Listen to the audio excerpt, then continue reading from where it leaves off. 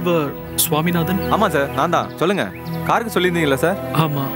எங்க போகணும் சார் தஞ்சாவூர் போகணும். தஞ்சாவூரா? மெயின்லேவா இல்லை உள்ள போகணுமா சார் கொஞ்சம் உள்ள போகணும். ஆ. ரூபா கொடுங்க சார் சரி. எப்போ சார் போகணும்? நான் சொல்றேன். ஓகே சார்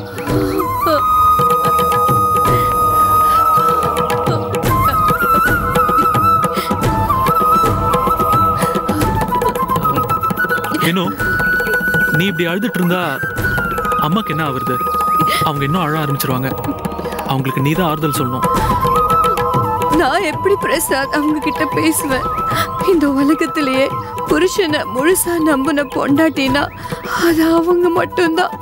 அவங்க அப்பா மேல அவ்வளோ பாசம் வச்சிருக்காங்க. அவங்க கிட்ட நான் எப்படி புரிய வைப்பேன்? என்னாலேயே இன்னும் நம்ப முடியலையே. இப்ப கூட அவரு பொழைச்சிட்டு வரன்னு ஒரு நப்பாச மனசுக்குள்ள அரைச்சிக்கிட்டே இருக்கு. நான் எப்படி அவங்களுக்கு ஆறுதல் சொல்லுவேன்? வினோ கொஞ்சம் ப்ராக்டிக்கலா புரிஞ்சுக்கோ.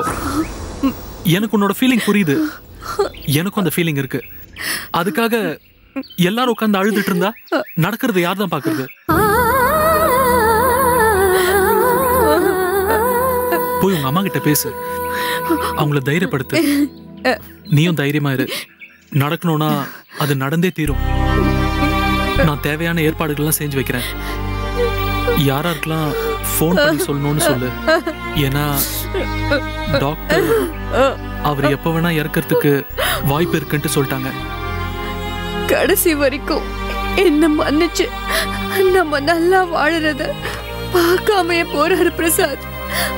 அவர் எங்கேயும் போக மாட்டார் வினோ. நமக்கு என்ன நல்லதோ அதை கண்டிப்பா அவர் எங்க இருந்தாலும் செய்வாரு. நீ முதல்ல தைரியமா இரு.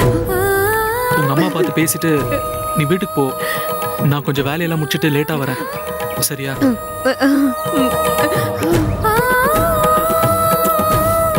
ப்ளீஸ் வினோ புரிஞ்சுக்கோ. உங்க அம்மாவை நீ தான் தேத்தணும்.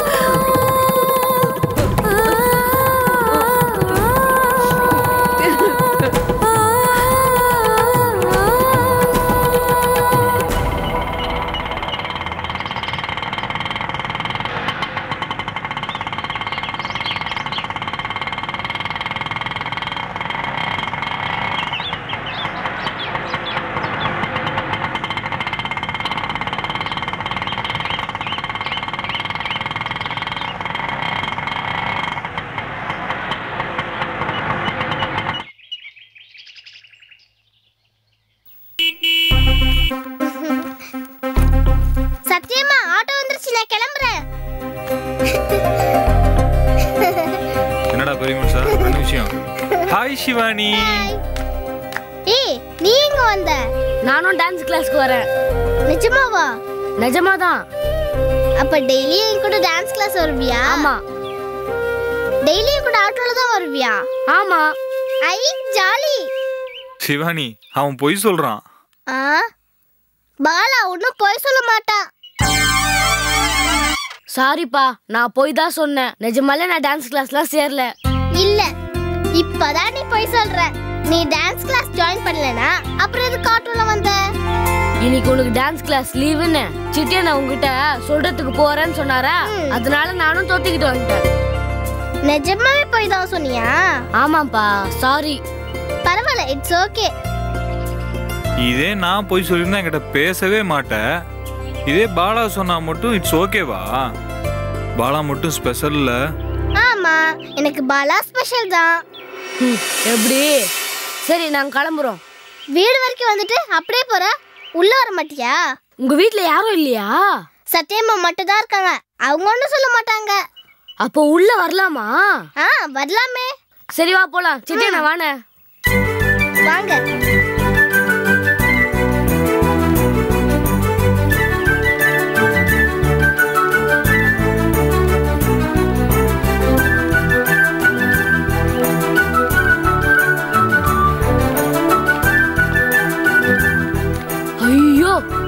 பெரிய வீடா? எத்தனை பேர் இருக்கீங்க? நானு எங்க அப்பா எங்க அம்மா. மொத்தம் மூணு பேரு. மூணு பேருக்கு இவ்வளவு பெரிய வீடா? எங்க வீட்லயும் மூணு பேர் தான் ஆனா சின்ன வீடு. உங்க அப்பாவோட சிவானி அப்பா கிட்ட நிறைய பணம் இருக்குல்ல? அதான் பெரிய வீடு. அவ்வளவு காசு இருக்கா உங்க அப்பா கிட்ட? ஆமா. வா புள்ள. சரி உங்க அப்பா எங்க போயிருக்காரு? ஹாஸ்பிட்டல். உங்க அம்மா? அவங்களும் ஹாஸ்பிட்டல்ல தான் போயிருக்காங்க. அம்மாவோட அப்பாவுக்கு உடம்பு சரியில்லையா? அதனால ஹாஸ்பிட்டல்ல சேர்த்திருக்காங்க. அதனால பார்க்க போயிருக்காங்க. சத்யாம்மா என்னம்மா? இன்னைக்கு டான்ஸ் கிளாஸ் லீவு அது எதுக்கு உள்ள வந்து பேசிட்டு இருக்கீங்க? இல்லக்கா பாப்பா தான் கூப்பிடுச்சு. சிவானி அப்பா வந்தா திட்டுவாங்க. அதெல்லாம் ஒன்றும் திட்ட மாட்டாங்க. நான் பேசிக்கிறேன். நீங்க போய் மூணு காஃபி எடுத்துட்டு வாங்க. ம் சரி. ஏய் வா உனக்கு ஸ்விம்மிங் பூல் காட்டுறேன். ம். வாங்க. வாங்க. வாங்க. ஐ ஸ்விம்மிங்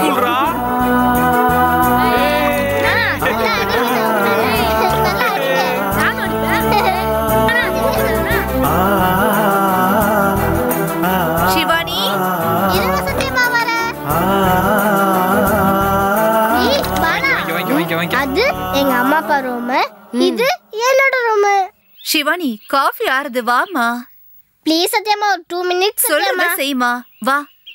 ஏய் சரி வாங்கப்பா போலாம். வாண்ணா. ஏய் மூச்ச பாரு தண்ணியா இருக்கு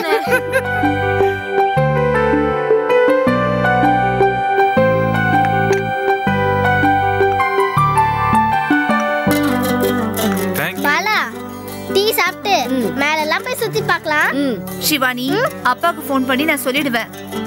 கோச்சிக்க கூடாது ஏய் அவங்க தான் சொல்றாங்கல்ல. எங்களுக்கும் டைம் ஆகுது நாங்க கிளம்புறோம். ஃபுல்லா பார்க்கவே இல்லையே. இங்க இருந்து பார்த்தாலே எல்லாம் தெரியுதுல.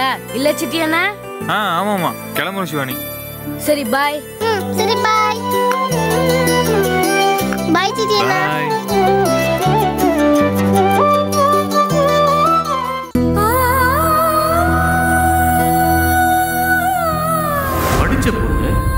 சுயமா சம்பாதிக்கிற பொண்ணுக்கு ஒரு தடவை சொன்னா புரியாது? ஒவ்வொரு தடவையும் செத்து போயிட்டான்னு சொல்லுமா என்ன?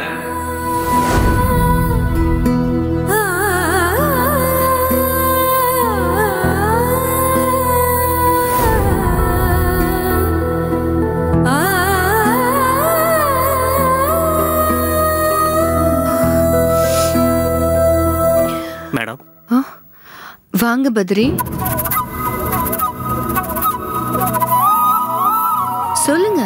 என்னாச்சு? மேடம். என்னைய வேலை விட்டு தூக்கிட்டாங்க மேடம். என்ன சொல்றீங்க? ஆமாம் மேடம். என்னை வெளியில் அனுப்பிச்சிட்டாங்க மேடம். என்ன ரீசன்? கம்பெனியோட ஸ்ட்ரக்சரை மாத்துறாங்களாம் அதுக்கு நான் தகுதியானவன் இல்லையா? எனக்கு மட்டும் இல்லை மேடம். ஆஃபீஸில் ரெண்டு பேர் ஃபேக்ட்ரியில் பன்னெண்டு பேரை தூக்கிட்டாங்க. எல்லாருக்கும் அன்ஃபிட்டு தான் ரீசன்னு சொல்கிறாங்க மேடம். நீங்க சொல்லிதான் இந்த விஷயமே எனக்கு தெரியும். நான் எம்டி கிட்ட பேசுறேன். ஆபீஸை விட்டோ ஃபேக்டரியை விட்டோ யாரும் வெளியே போகாம இருங்க. நான் கம்பெனியை கன்வின்ஸ் பண்றேன். மேடம். கொஞ்சம் என் கேபினுக்கு வாங்க.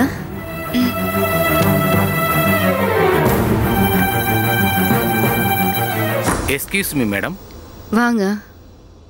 சொல்லுங்க மேடம் யார் நீங்க? நான் தான் உங்களுக்காக புதுசா அப்பாயின்ட் பண்ணியிருக்கிற செக்ரட்டரி சங்கீதா? அவங்க எம்டியோட செக்ரட்டரி இப்போ உங்களுக்கு என்ன வேணும் மேடம்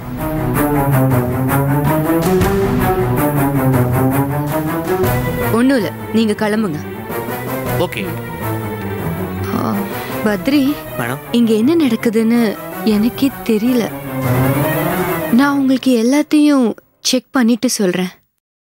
எல்லார்கிட்டயும் சொல்லுங்க. அவங்களுக்கான நியாயம் கிடைக்க எல்லா நடவடிக்கையும் நான் எடுக்கிறேன்னு. ம். சரிங்க மேடம். ம். நான் வரேன்.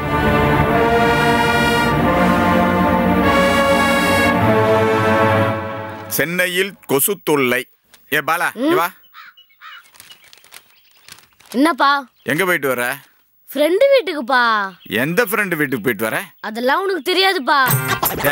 எனக்கு தெரியாத ஃப்ரெண்டு. உனக்கு யாரா? என் கூட படிக்கிற ஃப்ரெண்டு தான் உனக்கு தெரியும். இவன் என் கூட படிக்கிற ஃப்ரெண்டு கிடையாது. எதுக்குடா உங்க வீட்டுக்கு போன?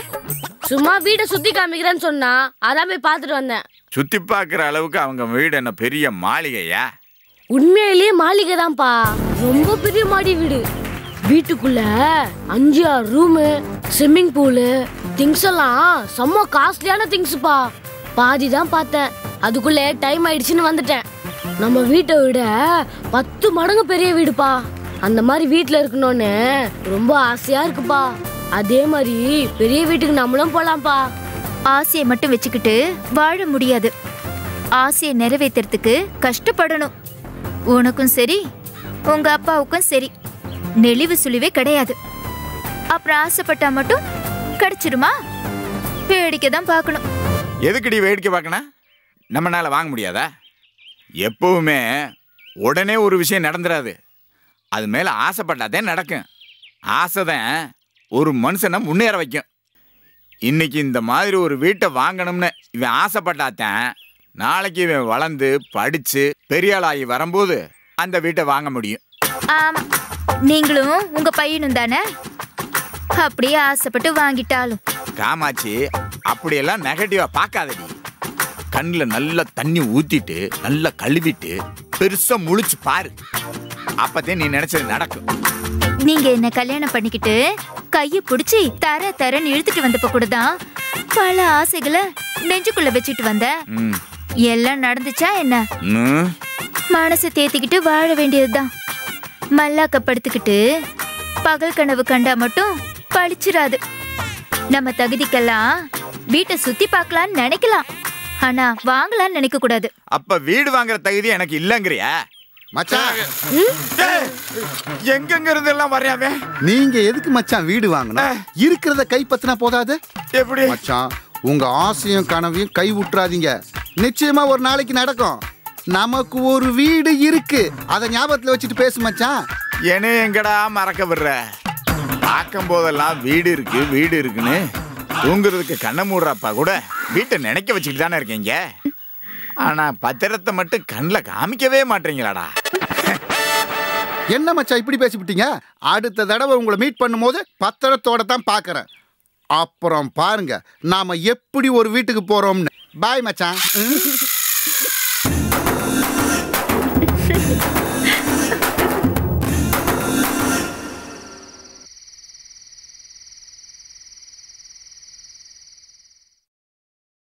அப்பா எனக்கு தூக்கம் வரலப்பா. ஏதாவது கதை சொல்லுங்கப்பா. டைம் ஆயிடுச்சுமா. காலைல ஸ்கூல் போகணும்ல கண்ணை மூடிட்டு தூங்கு. கண்ணை மூடனா தூக்கமே வர மாட்டேங்குதுப்பா கண்ணை மூடினா தூக்கம் வரும். தூக்கம் என்ன சிவானியா? நீங்க சொல்ற மாதிரிலாம் நடந்துக்கிறதுக்கு.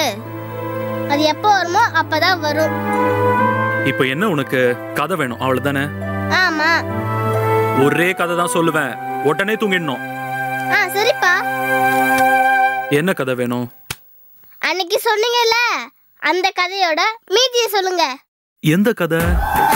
அன்னைக்கு கூட நீங்க கதை சொல்லிக்கிட்டு இருக்கும் போது ஹாஸ்பிட்டல்ல இருந்து போன் வந்துச்சு. அதான் பாதியிலே விட்டு ஓடுனீங்களே. சாரிடா அப்பாவுக்கு மறந்துடுச்சு. என்ன கதைன்னு சொல்லு. அப்பா ஒரு ராஜா மந்திரவாதி கூட இருப்பாரு. கமலப்பறையில ரெண்டு பேர் நின்னு பேசிட்டு இருப்பாங்க அந்த கதையா? அதே கதை தான் அந்த பாறையில நின்னு பேசுனாங்களா? ராஜா மந்திரவாதி கிட்ட கேட்ட அந்த வழியில போக ஆரம்பிச்சாரு. அப்பா நீங்க சொன்னப்ப ராஜா மந்திரவாதி கிட்ட மந்திரம் தானே வாங்கினாரு? அதான்டா மந்திரம் எல்லாம் வாங்கிக்கிட்டு அவர்கிட்டயே வழிய கேட்டு நடந்து போயிட்டே இருந்தாரு. அந்த வழியில போறது ரொம்ப கஷ்டம். கல்லு முள்ளு மரமா இருந்துச்சு. அதெல்லாம் தாண்டி ராணிய நினைச்சுக்கிட்டே நடந்து போயிட்டே இருந்தாரா? அப்போ மந்திரவாதி ராஜா கிட்ட சொன்ன மாதிரி மொத அரக்கன் வழியில வந்து நிக்கிறான். ராஜா உடனே மந்திரவாதி கிட்ட வாங்கின மந்திரத்தை எடுத்தாரு. மந்திரவாதி ராஜாக்கு எத்தனை மந்திரம் கொடுத்தாரு. அதுல மொத மந்திரத்தை எடுத்து சாமி கிட்ட வேண்டிக்கிட்டு தகட அரக்கம் மேல விட்டாரு. மந்திரத்தால செஞ்ச தகடு சுத்திக்கிட்டே போய் அரக்கனோட நெஞ்சிலேயே பாஞ்சுச்சு. அரக்க செத்துட்டானாப்பா? நெஞ்சில மந்திர தகடு பட்டா அவனால உயிர் வாழ முடியுமா? ஸ்பாட்லயே ஆல் அவுட்டு. பாவம். கொஞ்சம் உயிர் இருந்திருக்கலாம். ஏன்? அவன் தான் கெட்டவனாச்சே.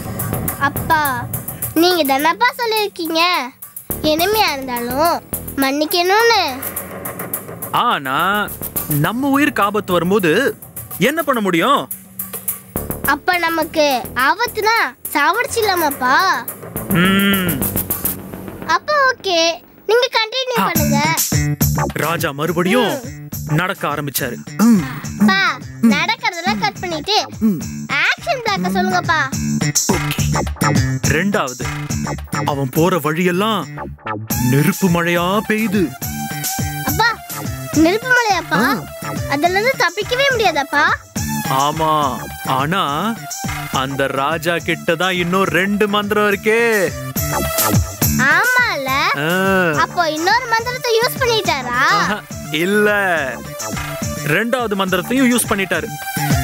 ஏப்பா ரெண்டு மந்திரத்தையும் யூஸ் பண்ணாரு? முதல்ல நெருப்பு தான் மேல விழக்கூடாதுன்னு வேண்டிக்கிட்டாரு. அதே மாதிரி அவர் மேல விழல. ஆனா நெருப்பு வழியெல்லாம் விழுந்து அந்த பாதையே அழிஞ்சு போச்சு. அப்புறம்? இன்னொரு மந்திரத்தையும் யூஸ் பண்ணி வழி கண்டுபிடிக்க வேண்டியதா போச்சு. அச்சச்சோ. அப்புறம் இன்னொரு கண்டத்துல இருந்து எப்படி பாத்தப்பிப்பாரு அங்க போய் மாட்டிக்கிட்டு நின்னப்ப எல்லா கடவுளும் அவருக்கு உதவி செஞ்சு தப்பிக்க வச்சுட்டாங்க. அப்பா அப்ப கடவுள்லாம் ஏதாவது ஆபத்துனா உதவி செய்வாங்களாப்பா? அது தெரியாதே. அவருக்கு மட்டும் உதவி செஞ்சிருக்காங்க? அவருக்கு உதவி செஞ்சதா சொல்றாங்க. ஆனா நாம பார்க்கல ஓகே. அப்பா கடைசியா ராணிய பாத்துட்டாரா யாருப்பா அந்த ராணி? உங்க அம்மா தான். நிஜமாவாப்பா? அப்ப ராஜா நீங்க தானா? அப்ப நானு? நீதான் இந்த ராஜாவுக்கும் அந்த ராணிக்கும் பிறந்த இளவரசி.